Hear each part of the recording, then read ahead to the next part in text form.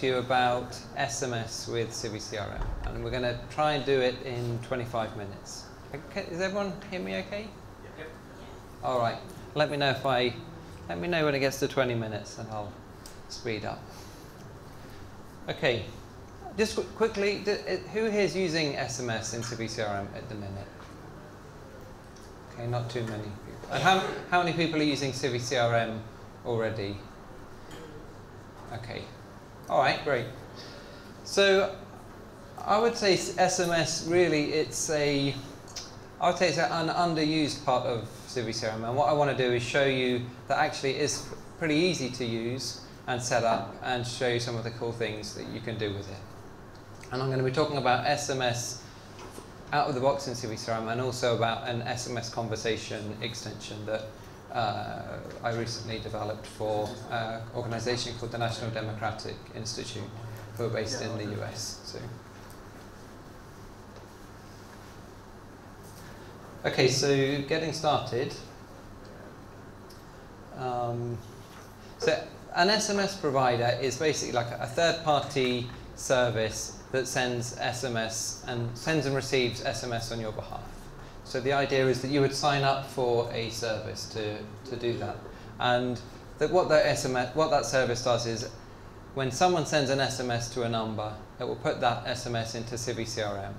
And if you want to send an SMS to a number, you'll talk to that service from CiviCRM. You'll just say, send an SMS. That would send, tell this service to send an SMS to that person. So these kind of these services they live like in the cloud, if you like. They're not part of your CiviCRM. You just sign up for a, a, a service with someone. And the, th the three, the, well, the, the two ones that you can use at the minute are well, the, are Twilio and Clickatell. Um, they're, you can you can download those via the UI. There's another um, extension called Telerivet that I'll talk about um, a bit later, and that's a, that's another one that I would suggest you have a look at. So when, when you want to convey that something is easy to set up, you normally say it's easy as one, two, three, right? And you say there's three steps. So that's what I'm going to try and tell you today. The first thing you would do is you'd go to your provider and uh, sign up there. So I'm going to show you what it looks like at Twilio.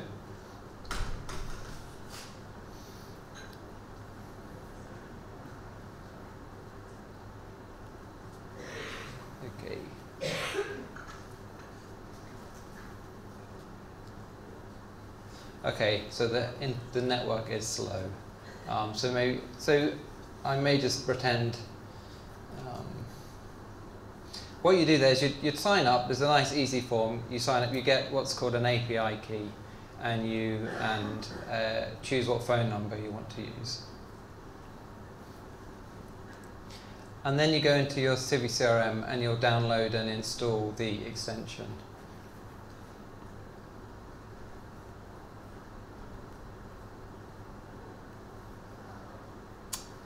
Hmm.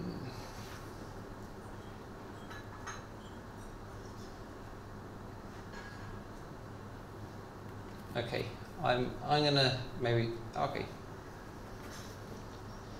So I guess I go to you guys have seen this screen before. Have people seen this screen before? This is the screen where you can download extensions. So um, here's a list of all the extensions you can download and um, you'll see on this site I've already uh, installed Twilio. Installed Twilio.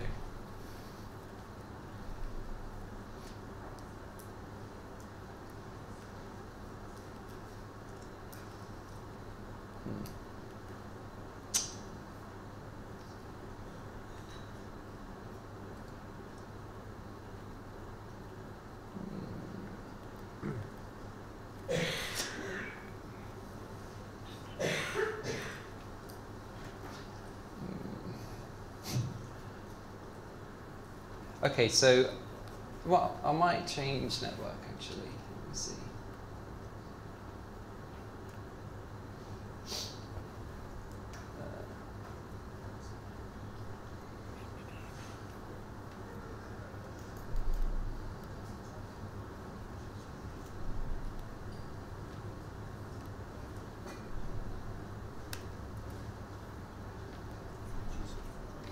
yeah. Well,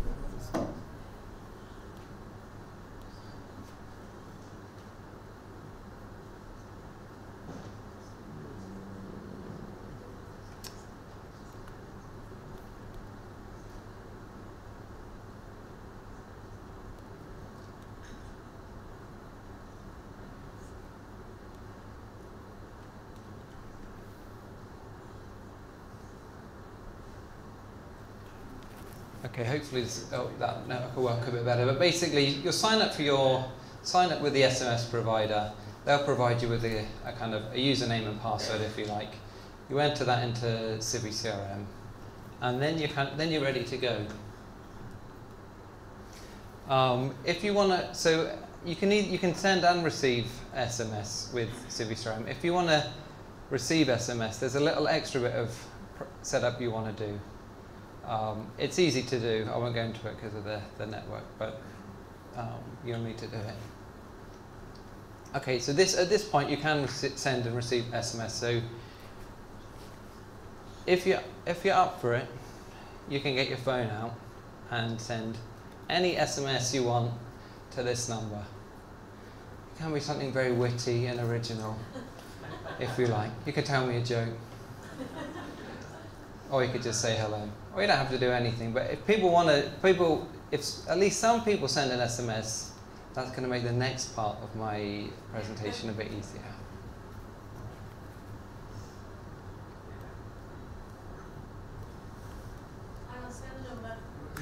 Okay, hang on.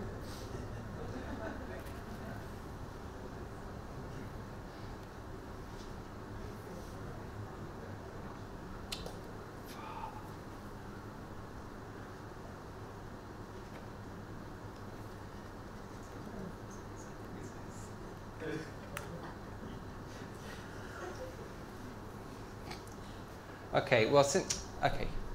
What, uh,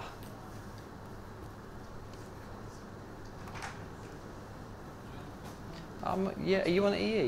Yeah. So am I. So have I, but it's just nothing's happening.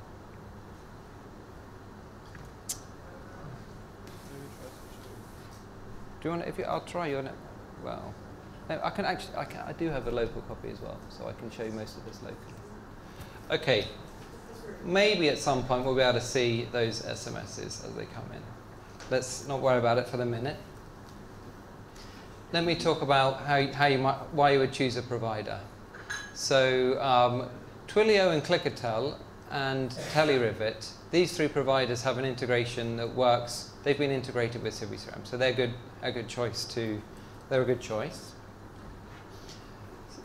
one of the questions you want to ask yourself are what countries am I going to use it in? If you're using it just in the UK, then that's fine.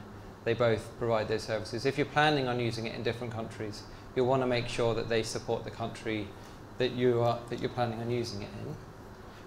And the other thing that's key is the two number, two-way number ability, availability.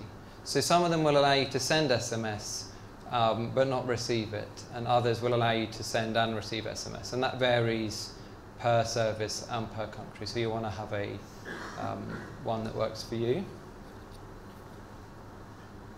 Obviously, the other thing that you'll want to consider is pricing. I won't go into it, but as you can imagine, most of them have a, a combination of a fixed monthly price and then a price per SMS. Of course, the other, the other option you could have, if you want to use a particular SMS services, is you, could you write your own integration or get someone to do that for you. But if you just want to get going, the best thing to do is um, use the integration, one of the integrations that's already there. Okay, so I want to talk a little bit about TeleRivet. So this is a new integration um, that I, we, we wrote for a client um, just this year and it works a little bit differently to other SMS providers. What TeleRivet allows you to do is turn any smartphone that you have into an SMS gateway.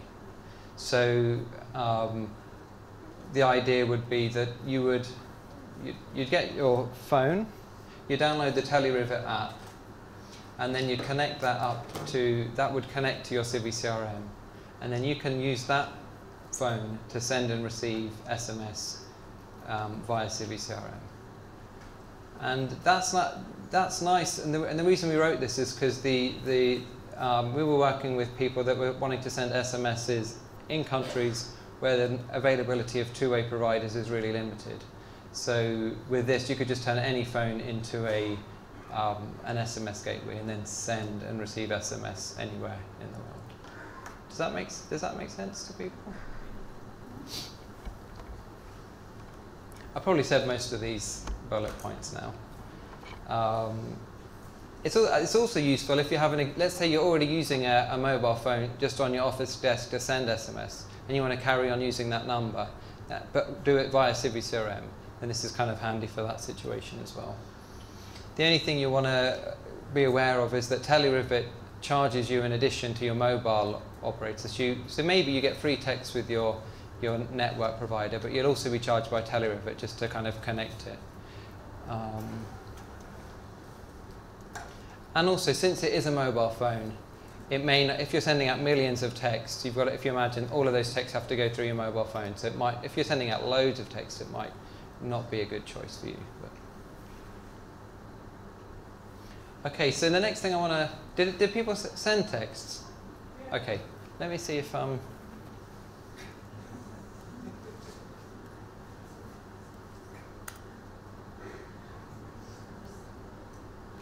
Uh, check. Anyone got a Wi-Fi? Another Wi-Fi network I can try just in case.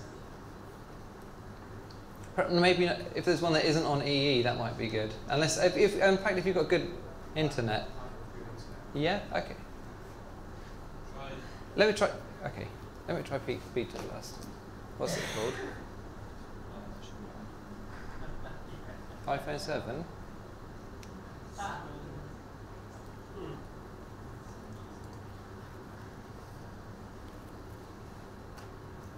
People say you should never do live demos. uh, yeah, anyhow.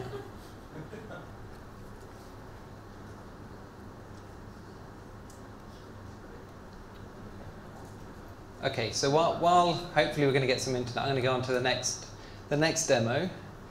Um, so we wrote, so we wrote this extension called S SMS Conversations, um, and sorry, do you want to? Is it if it's there? Which one's it?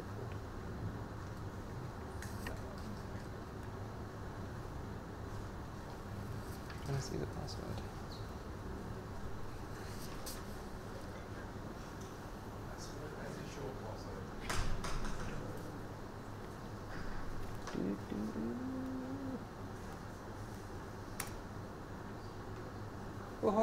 Okay, fantastic. So let's have a look at the SMSs. Oh, brilliant. So you can see here, what I've done is I've made a report, a hilarious report. Um, live demos are risky, very true.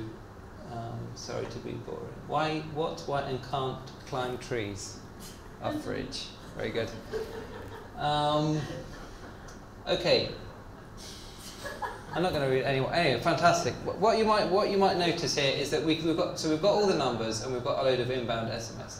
I'm going to um, choose to reply to this person. So you'll notice that this person um, they've got a kind of a funny contact name based on their mobile phone number because that's all we know about them at the minute. So I'll just quickly send them a SMS.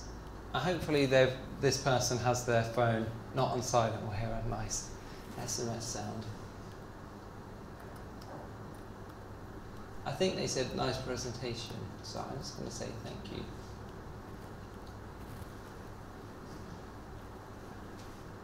Okay, so you can see it says Hey, okay. Should I, I should have had a dramatic silence for that.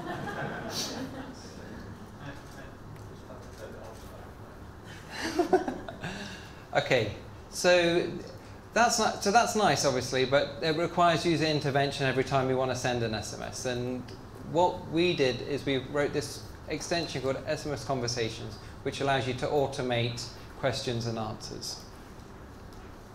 It's good for surveys and questions, as, uh, questionnaires, as you might expect. Um, It's also good for kind of confirming and updating information, like this is, this is the email address we have for you, is it correct, or things along those lines. I don't know if you're familiar with choose your own ending adventure stories. You know those ones where like you have to you meet an ogre in a glade. Do you fight him or do you run away? It's also really good for making those um, if you want to, and probably good for other things as well. But so anything where you want to kind of have a you know a series of questions and answers. So here's a really here's a really simple example. Uh, how was the conference? Great. Would you go again? Definitely.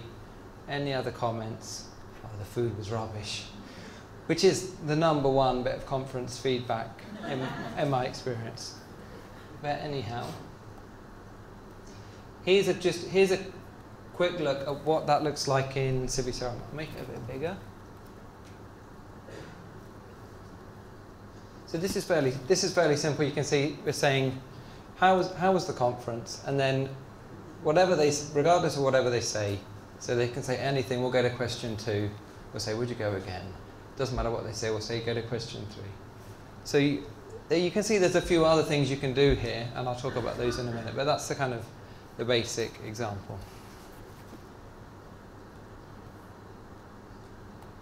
Okay, so some, just to go through some of the other things you can do. Any reply that they send you, you can add that to a, a contact field. So like maybe they, you ask them what their name is, you can add that to the name field. Uh, you can also add contacts to groups depending on what they've, either like, regardless or depending on what they said. So like, do you want to join the newsletter group? If they say yes, you can add them to the newsletter group. You can also use tokens in text, so you can address them by their name or anything you know about them. And you can also branch based on the answers they give you. So that's why, if you, that's how you would make your own, choose your own ending adventure stories using that branching. Okay, so here's a quick example of branching. So you say, can you drive a car? Maybe you need people to drive around. They say yes. And then you're going to ask them if they have any points on their license. Um, and they say no. But obviously you wouldn't want to ask them that question if they can't drive a car. So if they say, no, I can't drive a car, you might ask them something else, like, can you fly a plane? And then they say, yes, they can fly a plane. Okay, so this is the second demo. This picture is probably too cute. I should have drawn a more edgy picture, but um, if you text pets to the same number, you will, uh, you know, enjoy the fun. This is more fun than the last one.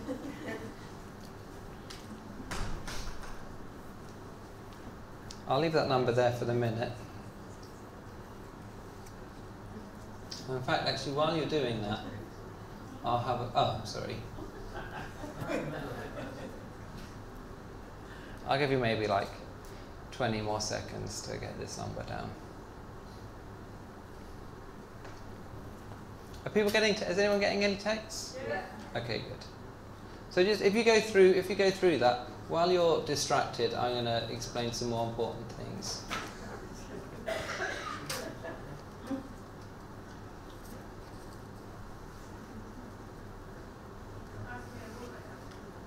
Okay, so what, one of the things you'll notice now is that for some of these people, we've got their, we've got information about their names because the first two questions were asking you what your name is, and so those, those that information's gone straight back into their record and kind of gets updated automatically, which is nice. Um, I'm going to pick on someone, Anna Horsley. Looks like she's ahead. Um, Okay. Well, has anyone complete? Has anyone finished it? Uh, it'll, it'll say it'll say something like thanks for. Okay, what's your what's your name? Phil. Are you Phil? Let's have a look at Phil. Do you have any cats or dogs, Phil? Oh. Okay. That's not exciting then. Okay. What I'm going to do actually, instead of that, I'm going to go to my group of dog owners and have a look. So there's two people in this group. Oh, it's just me and Johanna. Okay. I'm going to get my group of cat owners then. Maybe there's someone in there. Oh, six people with a cat. Okay. So Dave Morton has a cat. So he's in my group of cat owners, and if we're lucky, we'll find out his cat's name is Mister. What a nice name for a cat. Okay, so that's kind of demoing a few different things you can do with this. Let's go back behind and kind of see what this looks like. So I've got to check. I've got to. Well, actually, let's have a look at the. Let's have a look at your conversation. So here is my. Here's my list of all the conversations that I have defined in Civi CRM. So there's a kind of a boring conference feedback one, and then there's this more interesting pet survey. And so I'll just go through a few of these things. So this one says, similarly, it says, what's your first name? And it, as first thing it does is adds whatever that is to the field first name, and then it will go on to the next question. More, okay, so here's an interesting one. It says, are you more of a dog person or a cat person? This one, if it contains the word dog, you go to four. If it contains the word cat, go to five. So that's nice because it means you can say, I'm more of a cat person, and you don't have to say cat or anything. Obviously, if you said, I hate cats, that doesn't quite work. We might need to refine it a bit, but that, that's the idea of, of that. Um, here we've got a, um, do you this is, so if you answered that you're a dog person, I ask you, do you have a dog? Um, this one's more of an exact match. And you can see here, these are the different options that I get. And you can see here, there's an invalid text. So for every question that you define, you say, these are the answers that I expect. And if I don't get one of those, I need, I'll ask the question again. So if anyone said, I'm more of a cow person, they would have, prob- they would have got a question saying, you know, can you just please say cat or dog? Something like that. Okay. Um, then just the, the last bit here, there's this is how we're adding them to the cat group as well. Okay. Oh, actually, one thing else I want to show you. He, this is the this is the last text you'll get, and it says, "Thanks for letting me know." Contact first name. So that's the same as a token that you would see in CiviMail. And obviously, because we asked what your first name was, we can then use it again. I mean, but even if we already knew your first name, we don't have to ask it in this text, you know any field we can use it as a token.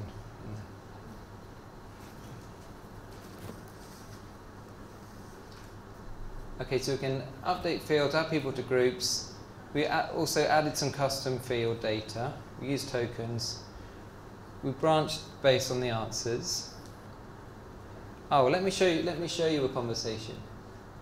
So for, in each contact, we can actually view the conversation. So I can see here with Dave Morton, um, here he's got one SMS conversation.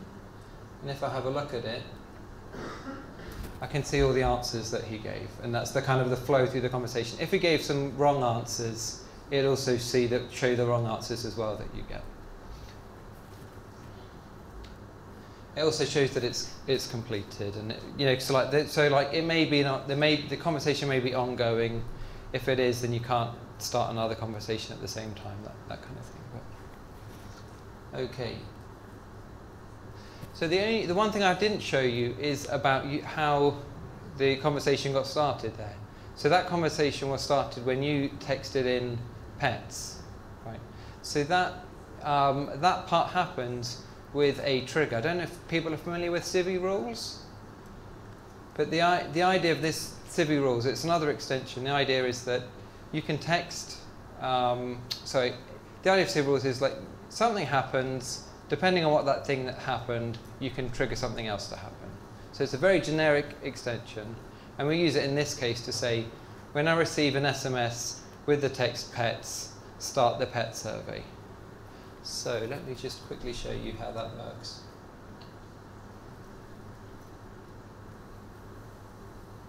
rules.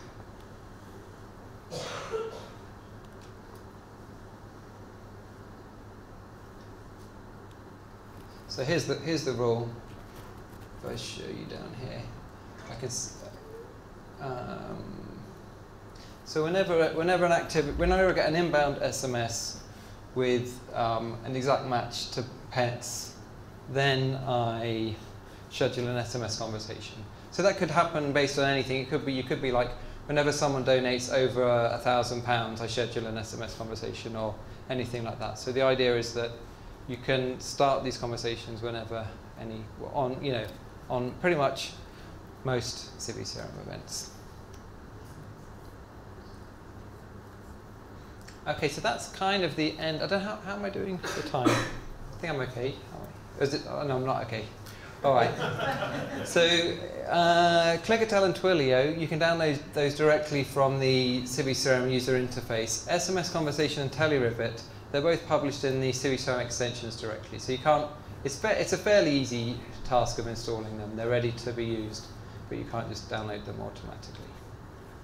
Cool. And that's it, so thank you.